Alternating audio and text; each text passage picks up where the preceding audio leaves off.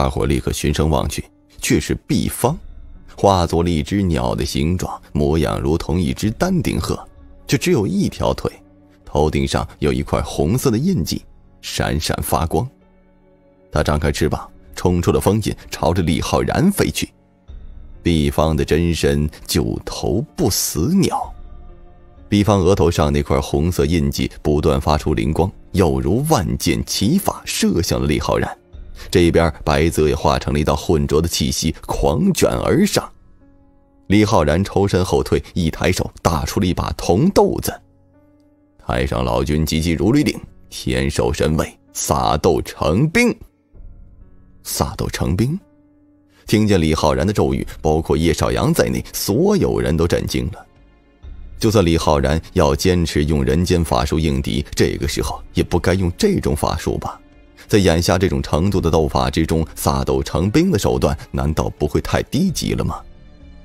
在众人不解的注视之下，神奇的一幕发生了。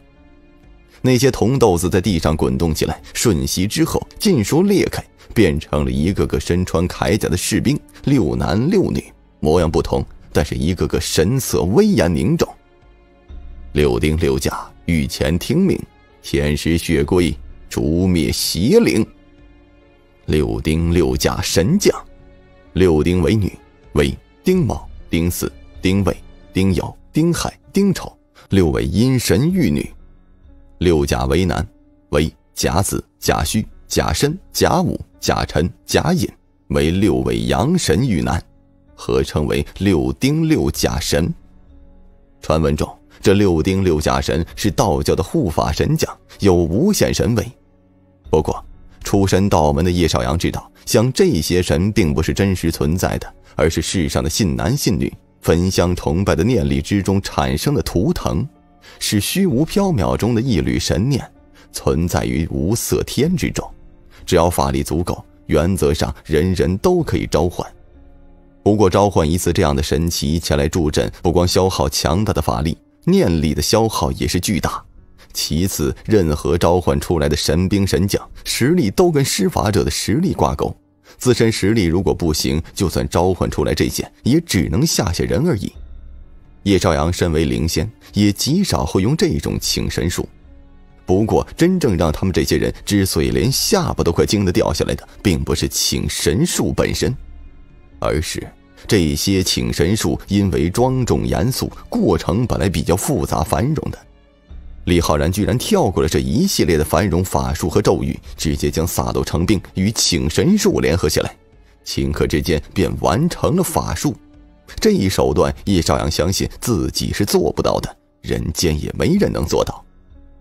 六丁六甲神被召唤出来之后，立刻排兵布阵，对毕方展开了围攻。李浩然自己也冲了上去，临阵厮杀起来，灵光闪烁，余波荡漾。就算离战场有一段距离，附近这些观众们仍然能感受到强大的压力。有些修为差一点的，还会被余波扫到，气血翻涌。可以说，在这里观看他们斗法是一件十分危险的事儿。但是没有人离开。毫无疑问，这一场惊天动地的战斗是在场绝大多数法师一生中看过最精彩的斗法。他们不甘心就这么离开，只有一个人除外。叶少阳拽了拽吴桐的胳膊，低声说道：“我们走，走，现在，就是现在。一会儿等他们分出胜负，再走就来不及了。”叶少阳心中清楚，李浩然要拿自己去找徐福，鬼知道徐福在哪儿。在找不到徐福之前，他肯定不会杀自己，但也不会放自己走。至于星月奴，之前态度也明确了，也是一心要拿自己去轩辕山。所以，不管他们谁能获胜，都要来抓自己。所以，最好就是趁着他们的缠斗，谁都无暇顾及自己，赶紧走人。叶少阳跟四宝他们说了一声，大伙也都同意了。师祖，你们要是继续观战是吧？叶少阳询问了云春生师徒。这样的斗法，一生中可是见不到几回的。我们倒是无所谓，但年轻人观战，或许能在修行上产生一些领悟，也是好事啊。云春生说：“你却是不宜久留，你先离去，随后再打探消息。等一切尘埃落定，再去茅山上见我。我还有要交代的。”我一定去看望二位祖师的。叶朝阳嘴上是这么说，知道自己不可能去的，当下把七星龙泉剑解下来还给了傅明子。当然，还是他的那一把，自己不曾用过，也不敢多看一眼。傅明子接过宝剑说：“你既然是我师父收的，名义上也是我的徒弟。等日后去茅山上，我为你举行仪式，正式收徒。这把剑将来未必不会传给你。”叶少阳明白他的意思，勉强笑了笑，伸手摸了摸青云子的脑袋，说：“这才是你真正的传人。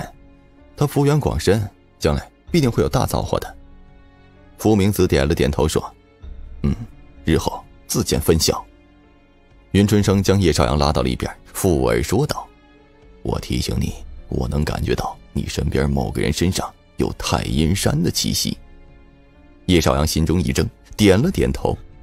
因为是偷偷溜走，不能大张旗鼓的见礼，叶少阳跟紫云真人、廖心禅师等人简单的打着招呼。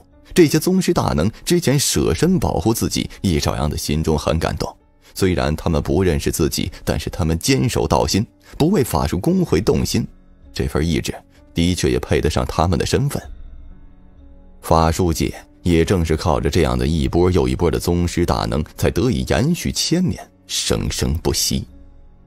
了心禅师等几个大和尚缠住了四宝，让他事后一定要去佛门找他们。四宝也答应下来了。我走了，你好生修炼，别忘了我跟你说的，我师傅说的那些话啊。叶少阳望着青云子说：“今日一别，将来可能不会再见了。”叶朝阳心中也十分不舍。我记得见到你师傅，告诉他他的理念正合我意，代我向他问好。叶朝阳笑了笑，转身看了一眼旁边还在焦灼的战斗，转身离去了。